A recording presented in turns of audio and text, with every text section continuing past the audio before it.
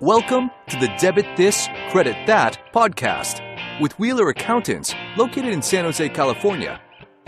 In this podcast, we discuss how to solve accounting challenges in both your personal life and your business. We take an energetic, tech savvy approach to solving accounting challenges that steal your focus and your time. Now, on to the show with your tech savvy accounting experts, Matt Wheeler and Michael Bryant. Today, we're going to be talking about choice of entity. And there's a lot of stuff that Matt's going to dive into and drive and, and really drop a lot of thought leadership on us, everybody. So uh, let's just jump right in. So, Matt, tell us what choice of entity is and really what the big problem or one of the big questions you answer by helping people choose which entity they should be. Well, when you when you say there's a you know a lot of information we're going to cover, that's that's exactly it. I think there's just so much to think about when you're deciding what kind of entity to do. And you know when people usually come to me for this they have like a laundry list of questions and sometimes they're putting the cart before the horse. But i think the the problem is really just identifying the appropriate form of entity you need for your new business venture um, or even an existing one if you're thinking about just changing the structure. But you know trying to find the right form for you that takes into consideration all the tax legal and practical considerations you need to think about. Well, what questions do you need to ask yourself? Because I just went through this with my accountant, and we did make some changes because he asked me a number of questions. So let let's dive into those. Uh, and everybody, please get a pad of paper out because these are really good questions. Not only to just ask yourself when it comes to entity, but really what you want your business to become. There, there are a lot of questions to ask yourself. Um, you, first, I usually you know, ask people, do you even need a legal entity? So if you're just getting started, the first question I ask is, do we really need one? Uh, you know, what level of activity you're going to have currently, or uh, you have currently, or going to have for the next six months to a year or a couple years? Are you going to own the entity yourself? Are you going to have multiple owners or partners? Uh, what type of business are you running? Uh, are you going to have, you know, net income off the bat, or there's going to be a startup kind of ramp up phase where you're going to have initial losses? Are there any legal considerations you need to consider where it's going to really force your hand one way or the other? What is your you know what does your personal tax situation look like? That kind of goes in tandem with the you know are you going to have losses in the beginning? And we can touch on that more later. Uh, you know, are you going to have employees? Um, what kind of vendors are you going to use? All these kind of things are questions you want to be asking yourself and I think as we go through the different types of, of ownership or types of entities for sole owners, which we're going to cover today, we, we'll, we'll answer some of these questions. All right, Matt. So now we should probably jump right into what the four types of ownership are, right? So this is sole ownership, is that correct? Yeah, today we're just going to talk about sole ownership, so you own 100% of the company. All right, fantastic. So let's let's dive right in. And uh, now you asked the question: Do you need an, an entity? Uh, so how do we start with that? Um, well, you know, so when you have a, a, business you're you're starting up, or you got one going, a common ones like uh, you know your consultant or something, you get paid via 1099 income. You're not an employee or you have some other you know small venture you're starting if you don't have any sort of legal entity established you're considered a sole proprietorship. So that's the first category. Uh, there there are three more. You could do an llc where you're you own 100% or you could form a corporation and there's two types of that. There's a regular corporation and then there's a subchapter s corporation. So um, we'll probably talk about sole proprietorship first. Okay. Um, and you know, that's the one where when, when someone comes to me a lot of times and they ask, you know, what kind of entity should I form for my business, the first thing I, you know, come back with is, do you need an entity? You know, are you are you putting the cart before the horse, right? Sometimes people just think they need the entity or that having an entity has some tax magic that happens where all of a sudden you get more deductions or you know you have like unlimited are limited liability where you you know you're totally protected or those kind of things and those those do happen but sometimes people get way too far ahead of the game uh, you know I, I, think a lot of the time I see people that are too focused on getting an entity established and not really focused on the business part of it and making sure they're actually have a business they're going to be doing and making money and that kind of thing because once you go down the entity route you have additional costs for mm-hmm. compliance, annual costs. Uh, there's minimum taxes here in California for the privilege of doing business in our lovely state, um, things like that. So, you know, number one, I always ask, do you even need an entity? Well, what happens if the answer is no? Right. So, so if I don't need an entity, then, but I still need you though, right? Because you're still going to make sure that I'm still keeping everything above board. Yeah, if you don't if you don't need an entity, so let's just say you're a, a consultant and you're making some you know income or, or, decent income or something, and you got some business expenses and that kind of thing. If you if you don't have like a, a reason to need an entity, I say don't do one. If you want to have a different business name that's not just your personal name, then you can go get a a DBA, a, a doing business as fictitious name, you know, with your city or whatever, and that'll cost you a couple bucks. Um, if you don't want to be giving people out your social security number when they ask for it for 1099 reporting, you can get an employer ID number or a tax ID number for your business without setting up an entity with the IRS.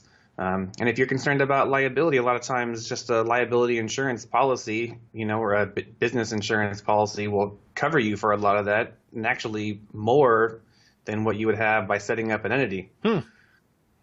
Do you usually recommend that, that people have that from a supplemental standpoint, depending? Yeah, I mean, generally, I think you're going to want to look at your insurance coverage and make sure you're covered.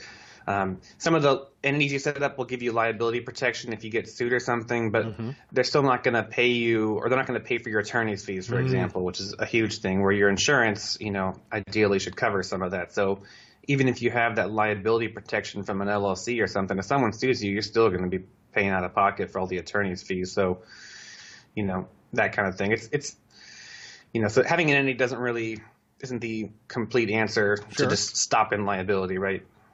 So after meeting with you, you do decide that you need I need an entity. So I'm going to be your client here. So so what do I do? Where do I go from there? So then we want to take a look at, you know, what your business is, um, you know, what kind of level of activity you expect, and you know some of those kind of questions. What your other tax situation is. You have a couple choices if you do go the entity route, right? You can do a an LLC, and if you're 100% owner of the LLC, we call it a single member LLC.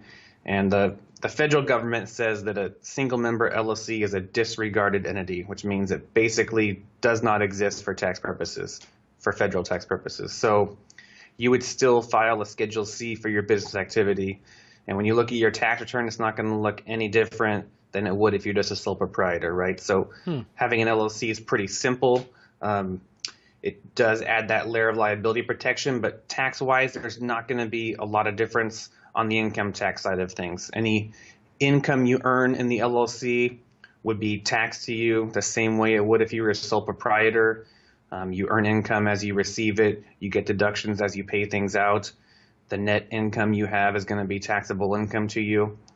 You're going to be paying self-employment tax on the income in either scenario, which is, you know, your your share of Social Security and Medicare taxes, as well as the employer share. So that can definitely add up. Um, you know, it's, it's going to look a, a, lot like the sole proprietorship, but just a little bit of extra uh, layer of liability in between you and uh, you know your customers or vendors or, or whatever the rest of the world. On the uh, California side, there is going to be a little bit of a difference with the LLC. You're going to have a minimum $800 a year tax for having the LLC.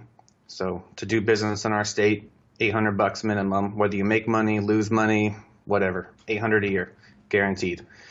Uh, there's also a gross receipts fee on the LLC. So if you exceed certain gross receipts thresholds, you add an additional fee to California. So the first uh, threshold is $250,000 of gross receipts.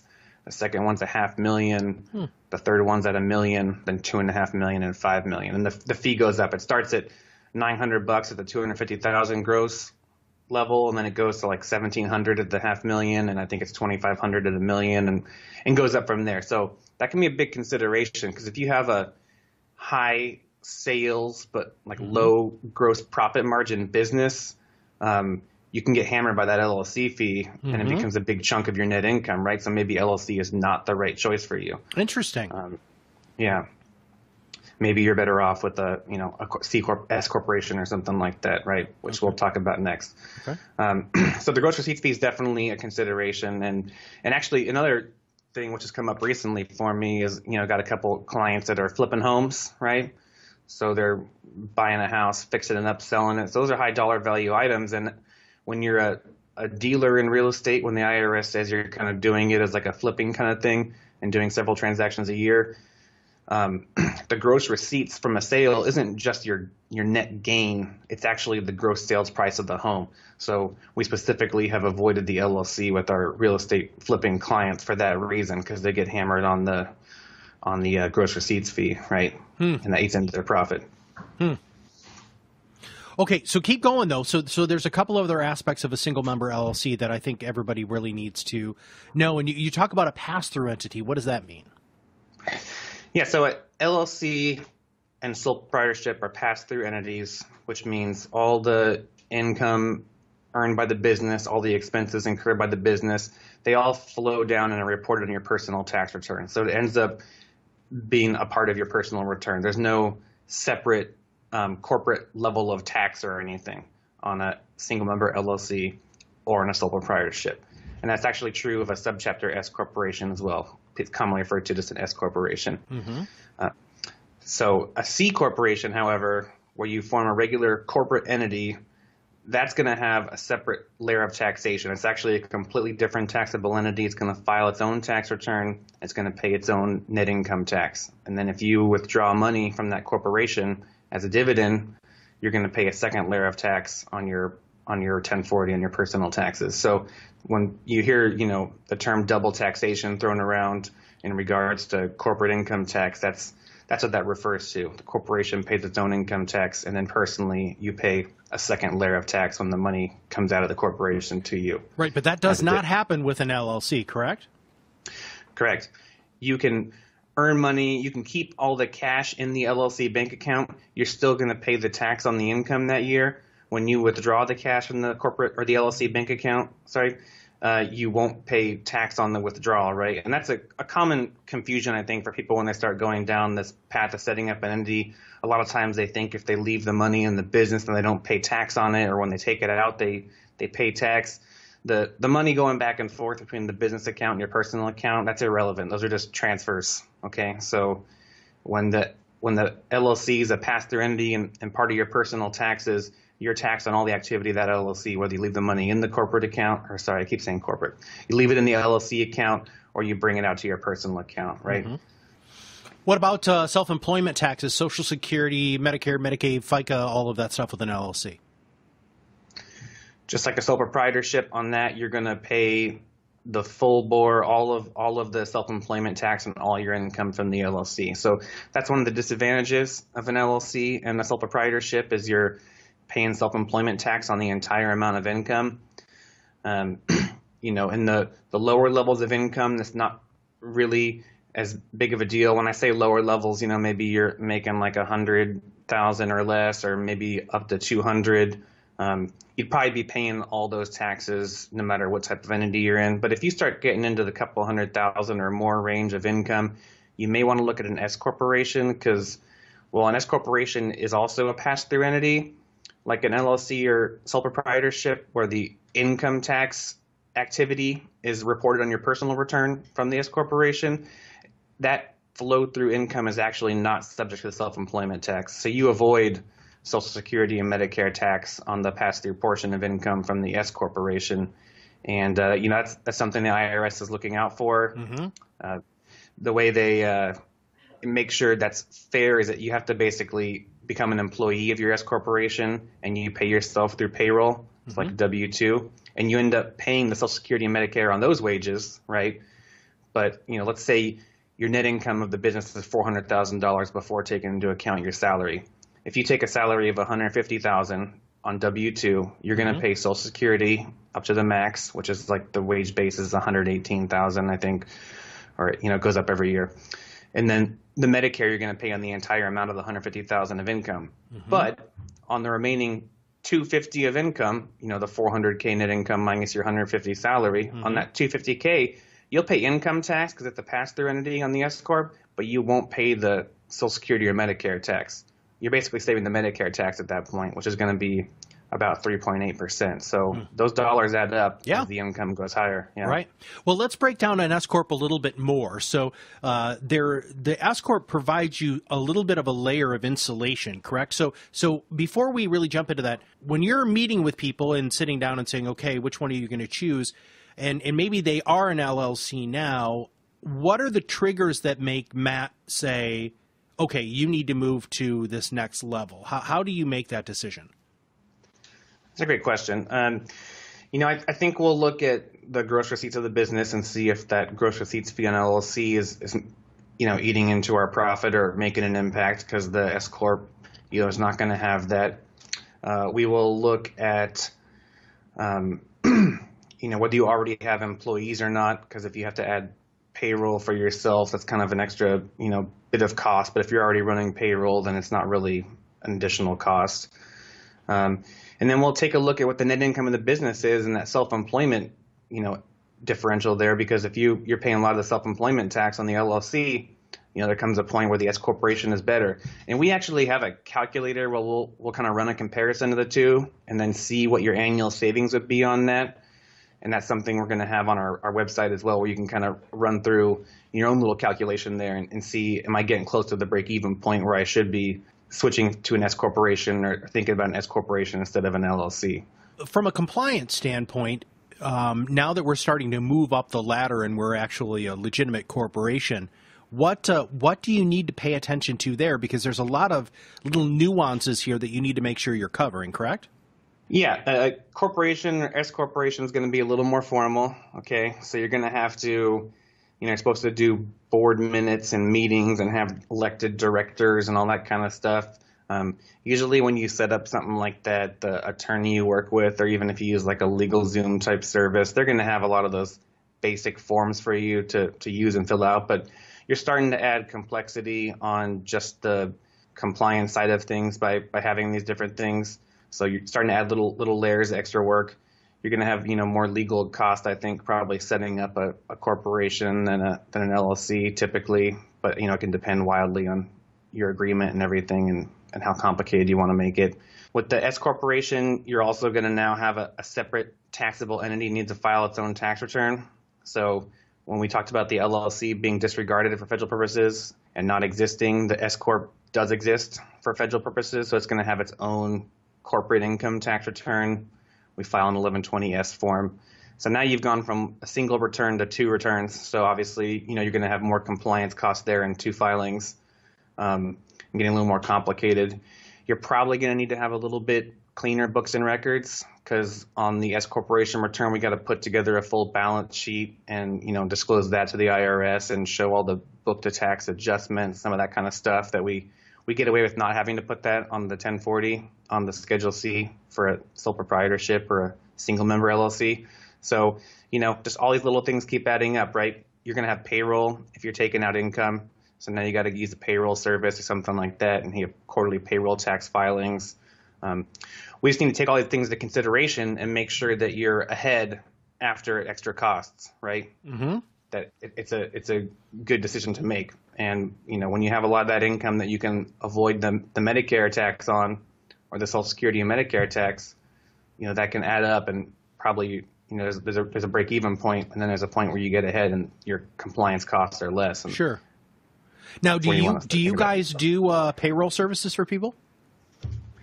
We do do payroll. A lot of times we'll, um, you know, have you use a, a payroll service, and we'll kind of help you oversee the the regular payroll. The, the, service is pretty efficient at taking care of the quarterly filings and everything. But um, actually, I'm glad you brought that up because for an S corp, um, payroll we need to run payroll, but there's a little bit of special payroll that happens for a, like a greater than two percent shareholder in S corporation. If you if you have health insurance coverage through your S corporation, you got to add the value of the health insurance coverage paid by the corp to your W two by the end of the year in order to take the deduction on your personal return, the self-employed health insurance deduction.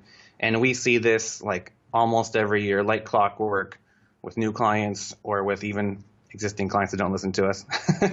you know, where they um, they need to go back and amend or fix their W two because they forgot to add the health insurance for the S corp. So there are little funky things like that. Uh, we're certainly on top of that, and we, you know, communicating with our clients. We have an alert that goes out to all of our S corp clients before the end of the year, reminding them to, to get that on there. But that's definitely a common one. Well, you talked about a pass through entity already, but uh, highlight that one more time. And um, there were a couple of interesting things uh, with the LLC that you had said that there were the gross receipts of uh, you know two hundred fifty thousand dollars, about nine hundred dollars a year. Now that that doesn't necessarily apply here to the S corp. So let's break down some of the gross receipts and payments and pass through and taxation on the S corporation. Yeah, so the gross receipts fee, there's no gross receipts fee for California on the S corporation, so we don't need to worry about that. But there is going to be a net income tax for the S corporation on California. That's one and a half percent of the net income of the business. So that the net income of your business for the S corp is going to be the net income of the business after taking into account your salary and everything, right? After your W two. So whatever that number is, one and a half percent of that, you're going to pay that net income tax, or you're going to pay the eight hundred dollar tax, whichever one is greater. So, if you lose money for the year, you're going to pay the minimum eight hundred dollar tax. Once you start getting up to, you know, I think it's like sixty or seventy grand of, of business income, you're going to start to get close to paying the eight hundred dollars, you know, minimum tax, and go from there. So, or over the eight hundred dollars, the one and a half percent. Sorry. So why does so California love that eight hundred dollar number? I mean, it seems that's pretty uh, standard.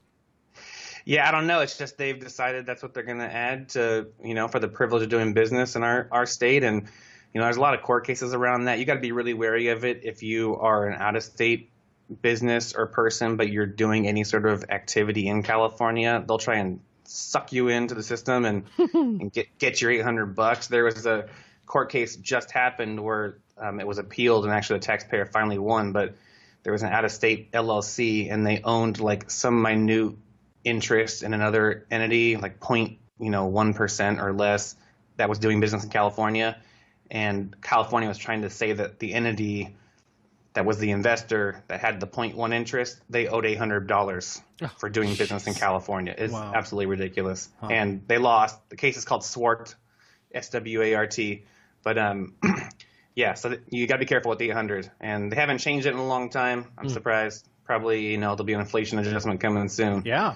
Trust, trust me. But uh, yeah, 800 is a magic number. So you okay. start doing business here, 800 bucks. Gotcha. And that's one of those reasons why if you're, you know, I ask, do you need an entity? If you're a consultant, and you're making a, you know, couple thousand bucks a year or something. You don't need to set up an LLC because you're already going to start triggering 800 bucks a year. Or I see people, you know, put the cart before the horse, like I said and they you know go out they get an entity set up they do all this work they get a bank account whatever and they don't even have any customers yet. One client I was an engineer and he it's funny he uh, was so focused on the you know compliance aspect of getting everything set up and that kind of stuff but he didn't have any clients yet. And I was like, you know you need to worry about your business first and the the rest of the stuff will follow right? If if you're not going to have any clients, if you're not going to actually end up running a business, you're going to spend a lot of money just to get something set up you're never going to use. So, yeah, you know, that, that $800, you know, once you start, it's hard to stop. You got to go through the whole thing of dissolving your business and mm-hmm. file final returns and the whole the whole deal. Mm.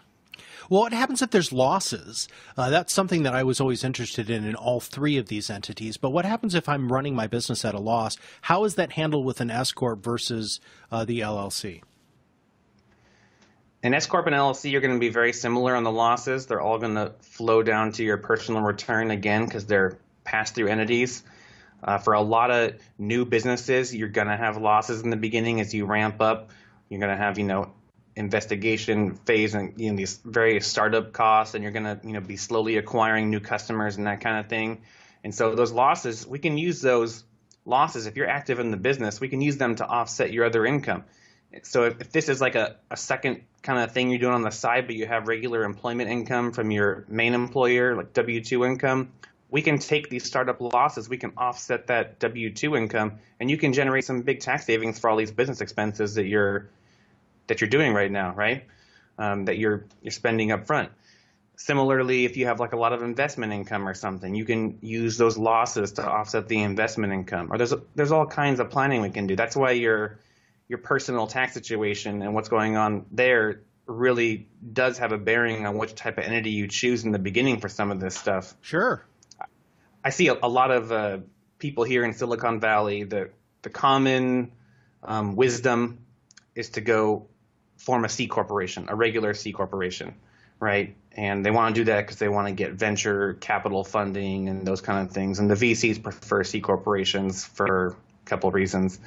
But um, when you do a C corporation, which I guess we'll just start getting into that, yeah. it's not it's not a flow through entity, right? It's not a pass through entity. So any losses in the C corporation, they're trapped inside the C corporation. So if you're gonna if you're gonna bootstrap for a little while, or you know have a couple investors, but you're you're gonna um, you know know you're gonna have a startup loss phase period. Think about doing one of the pass through entities in the beginning, like an LLC. You can always switch later on, um, and it's pretty easy to switch like from LLC to a corporate form, like mm-hmm. a C or S corporation. It's actually harder to go the other way and go from a C or S corporation down to an LLC or not down, but just you know change to that or go to a sole proprietorship or something. Well, so, Matt, do you, do you have to have a reason though? I mean, do you have to explain why you're moving between the different corporate structures? Obviously, as you were just saying, moving up through the corporate structures as we're talking about today with choice of entity. But I mean, do you have to elaborate? Do you have to say, well, I'm going to be an S corp because of this or a C corp because of this? I mean, you don't need to tell the IRS why, but all right, you just got to follow the rules, you okay. know, and check the boxes and fill out the forms. Yeah. Okay.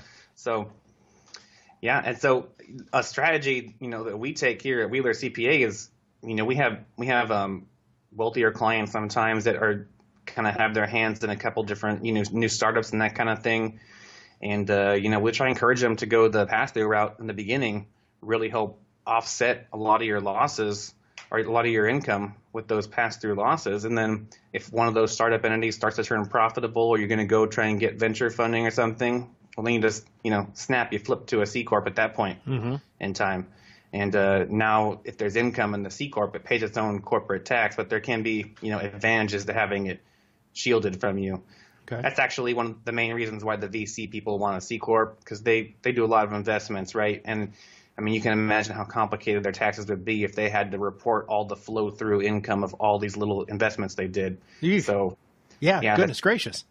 So the C corp is a nice shield. I mean, every you know every public company is a C corp. Obviously, almost all of them except for the the publicly traded partnerships, the master limited partnerships. But um, you know they do that because you can imagine if everybody that owned a share of Coca-Cola had to report their share of Coca-Cola's income every year, and you know all the different stocks you own, that'd be a nightmare, right? So the C corporation is a shield where it kind of separates you from the activity of the business, and that's why the venture capital guys and such will will want that type of structure. There's also legal reasons as well. They have more more kind of control there, but now we've talked about double taxation, but before we get to that, it this the C corp is set up from a compliance standpoint and a legal pers- uh, standpoint a lot like the S corp, right? So there are a lot of costs that are there with compliance and reporting.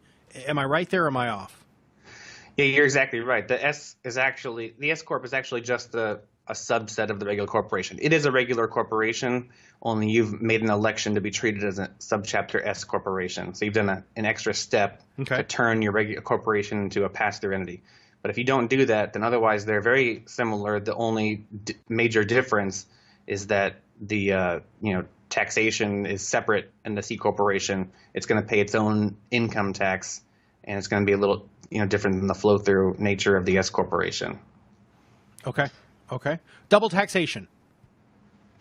Double taxation. Yeah. So C corporation earns money. It's going to pay tax at the corporate tax rate. There's a lot of talk now about corporate tax reform that we have really high corporate rates. Well, compared to the rest of the world, you know, uh, we'll see where that goes. But the, the idea is we really have double taxation. So going back to the example of Coca-Cola that you own in your portfolio or something, Coca-Cola pays its own income taxes, right? Prints money. They make a lot of money. They mm-hmm. pay a mm-hmm. lot of income tax. When they issue dividends to you, which they do, you also pay tax on those dividends. That is double taxation. You're actually being taxed twice, right? Hmm. Coca-Cola has earned money and paid its own share of federal taxes to the government, and now the government wants another slice when you get a dividend from Coca-Cola. Hmm. That same exact treatment when you have your own corporation that you own 100%. It's still a regular corporation your corporation is going to pay income tax, and if you take a dividend, you're going to pay a second layer of tax. Now, a dividend is not the only way to get money out of a corporation, right? So that's just the way where you're going to have double taxation. Usually, with our clients, we will try and zero out the corporate income for the year if possible by taking salary or bonus to the owner or owners and uh, get the income to them that way. When you take W 2 income out of your corporation because you're an employee, then the corporation is going to get a deduction for the wages paid. So you're going to lower the income by the amount of wages paid. On the other side, you're going to have W 2 income on your personal return, but now it's basically just a single layer of taxation because the corporation is not paying any income tax. It's able to wipe all its income away by paying wages and now you just pay a single layer. The problem is that the you know W two income is taxed at ordinary income rates, and dividend income has a little bit more preferential tax treatment. It's kind of like the long term capital gains and everything. So mm-hmm. there's there's things to consider there, but generally speaking, that's one of the ways you can kind of get out of the double taxation hmm. is, is by paying wages. Well, another way for them to get rid of or, or, or just understand all of this is to sit down and talk to you. So, who at your firm specializes in doing this, and uh, how long should somebody um, block out to sit down and talk to somebody like you to see what choice of entity they should make? You know, we have several tax managers and partners who are all familiar with these, you know, basic choice of entity concepts that you could really sit with. So you want to talk to someone on our tax team for sure, someone that specializes on the business side. Um, we have those people listed on our website, you know, under our, our people section. And uh, you're probably going to want to block out like, you know, an hour, I would say. You know, it, it could be longer, but, you know, I'd, I'd figure on an hour to kind of go through a lot of these questions. We'll ask you questions, we'll get answers, we'll kind of build an assessment of where you are. We'll use the calculator to see if LLC is better than S corporation or vice versa or whether a C corporation matters. Um, you know, if, if it's a little bit of a bigger business or something, we'll probably be involving the attorney in this discussion because there's a lot of legal, you know, ramifications behind each type of entity as well, which is not even really something we're covering here today, obviously, but it plays a huge role. So you're going to want a team, you know, of people generally, attorney, yourself, CPA, and, and you're going to help decide what's the right type of entity. But you know, I plan at least an hour for the initial discussion just to kind of explore all the rabbit holes. Okay. Well, and I appreciate that. I think uh, our listeners will appreciate that too, because what you went through is is really a mouthful of really great questions and can have such long term ramifications on your business. So, sitting down and just spending an hour with somebody to pick their brain and have them actually pick yours can really make a, a huge difference. So, any closing thoughts, words of wisdom for our listeners on choice of entity today? Uh, you know, don't put the cart before the horse. I can't emphasize that enough. You know, a lot of people that just have a a simple little side business going, keep it simple because once you go down this road, you're going to increase your costs. But if you are going to go these costs or go this route with the extra entities and everything, then you need to, you know, commit and you got to really sit down and talk with us and decide which one's best. And you know, try not to be cheap. Basically, uh, when you do go down the route, you're going to have to, you know, pick the entity. It's going to best serve you and you know be the best financial decision for you overall, considering legal, tax, and practical considerations. I have had an enormous amount of sense of relief after my CPA asked me these questions. And, and where I live, we don't have that eight hundred dollar thing that keeps coming up, but we uh, we do have a self employment tax, which is quite interesting. But the overall idea here is the conversation has to happen. Uh, if you're going to start a business, if you're in a business and you really are hoping to grow or, or even protect yourself or protect your family or anything along those lines, really sit down with everybody at Wheeler CPAs because that's going to make a big difference and can really change everything long term for where your business is going and what you're going to be doing from a tax perspective. Is that right?